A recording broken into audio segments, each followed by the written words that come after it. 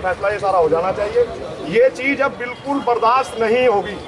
छोड़ेंगे नहीं किसी को। ध्यान रहे अगर किसी भाई, किसी बहन, किसी बेटे को हमारे को दिक्कत आई तो हम ऐसा जवाब देंगे, मुँह तोड़ जवाब देंगे और देते हैं और देते रहेंगे।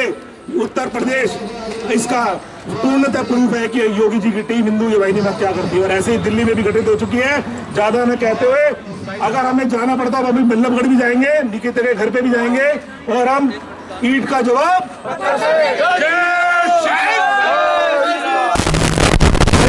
वशिष्ठ है जिस तरह हम देखें जो जंतर मंतर पे आप लोग आए हुए आवाज़ नीचा के? क्या की। तो ये आवाज़ उठा के आप क्या मैसेज देना मैं देश के अंदर एक मैसेज देना चाहता हूँ। ये लोग जो जिहादी जो लोग हैं जो ये लव जिहाद फैला रहे हैं पूरे देश में उनके लिए एक मैसेज देना चाहता हूँ कि हिंदू युवा वाहिनी अब मैदान में है। अगर किसी जिहादी ने अगर दोबारा निकता जैसा अगर कोई काम किया पूरे देश में दिल्ली को नहीं पूरे देश में तो उसको हिंदू युवा वाहिनी स्वयं मतलब सजा देगी। अब तक हमसे सरकार के ऊपर सोचते हैं कि सरकार सजा देगी लेकिन अब हमने सोच लिया कि अगर हमारी माँ बहन को अगर, अगर कोई आदमी छेड़ेगा या उसको कोई हानि पहुँचाएगा तो स्वयं हम उसको सजा देंगे। बता दूँ कि ये महावीर जो सरकार है वो भारतीय जनता पार्टी की सरकार है और भारतीय जनता पार्टी की जो सरकार है वो हिंदुत्व के लिए नहीं पूरे देश के लिए काम करती है। उन्होंने जो उचित कार्रवाई करनी है वो करनी है लेकिन हमारी यहाँ पूरी हिंदू वाहिनी की एक मांग है कि उनको जल्दी से जल्दी फांसी मिलनी चाहिए। दिल्ली के जंतर मंतर पे आए जो आवाज़ उठा रहे उस पर आप क्या कहना चाहेंगे? जिस तरह बच्ची के साथ हुआ उसको गोली से मार दिया तो देखिए सारी समस्या की जो जड़ है वो जिहाद है। और आप जानते हैं चाहे वो लैंड जिहाद हो चाहे वो लव जिहाद हो और चाहे वो अपना और भी भाईचारा बना के इन्हें बेवकूफ़ बनाने का काम कर रहे हैं हर बारी टारगेट कौन होता है? सिर्फ़ हिंदू टारगेट होता है। चाहे वो कश्मीर में हो चाहे वो कन्याकुमारी में हो। और मैं कहना चाहता हूँ इस समय तो हम शांतिपूर्ण प्रदर्शन कर रहे हैं, परंतु अगर सरकार ने, सरकार कार्य कर रही है, परंतु इसका सिर्फ़ एक ही इलाज है, गोली मार देनी चाहिए। निकिता के हत्यारों को गोली मारो सालों को। मेरी मांग है देश के प्रधानमंत्री नरेंद्र मोदी जी से। जिस तरह से यूपी के अंदर फास्ट ट्रैक कोर्ट के अंदर तुरंत कार्रवाई होती है, उसी प्रकार से इस पे भी हरियाणा के अंदर भी फास्ट ट्रैक कोर्ट का, के ज़रिए बहुत तुरंत कार्रवाई होनी चाहिए।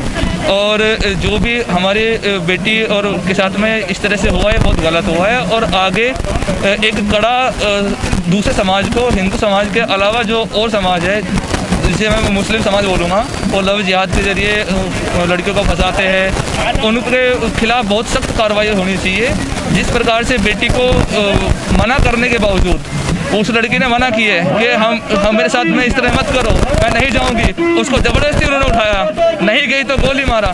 तो इस प्रकार से ना आगे से इस तरह की कोई भी कार्रवाई कोई भी हिम्मत ना कर पाए हिंदू की बेटी के खिलाफ। सर आखिर जय श्री कपिल कुमार सिंह। क्या कहना चाहेंगे किस तरह जो ये देखिए ये जो कांड हुआ है और इसी तरह के कांड होते रहे हैं हमारे देश में पर अभी तक क्या होता था, कांग्रेस सरकार थी पहले हमारे यहाँ पे तो वो इन चीज़ों को बढ़ावा देती थी।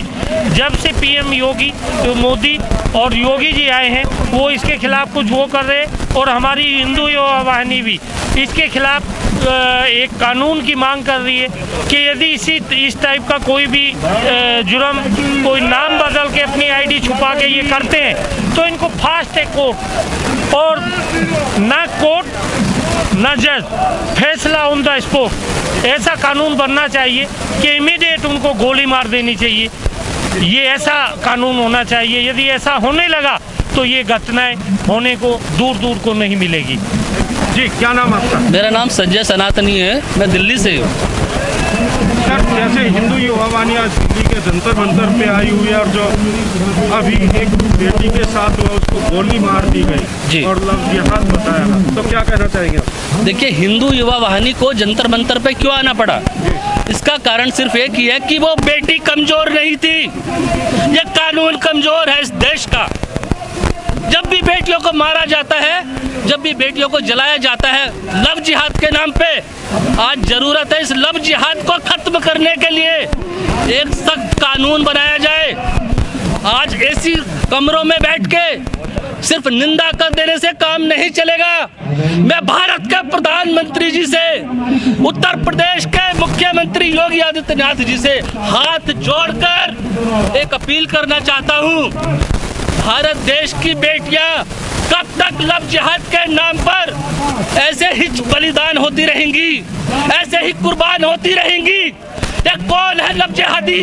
इनको बना देने वाले कौन है? ये गुनाहगार कौन है? अरे, जब एक देश के अंदर, इसी देश के अंदर, इसी संविधान के अंदर, इसी कोर्ट के अंदर, सुप्रीम कोर्ट के अंदर, रातों रात एक कोर्ट की, एक फैसले की, एक किसी भी जुर्म की सुनवाई हो सकती है। तो निकिता के हत्यारों के लिए रातों रात कोर्ट क्यों नहीं खुल सकती? क्यों नहीं 24 घंटे, सातों दिन, संडे, मंडे, इतवार, सोमवार को भी बैठ के सातों दिन में फैसला आए? और जिस गुनागार ने, जिस गुनागार ने हमारी बहन को चौराहे पे गोली मारी है, उस गुनाहगार के लिए उसी चौराहे पे फांसी बना के वहीं लटकाया जाए। ये हम मांग करते हैं। ये हिंदू युवा वाहिनी की मांग है। Like share and comment to subscribe this channel please press the bell icon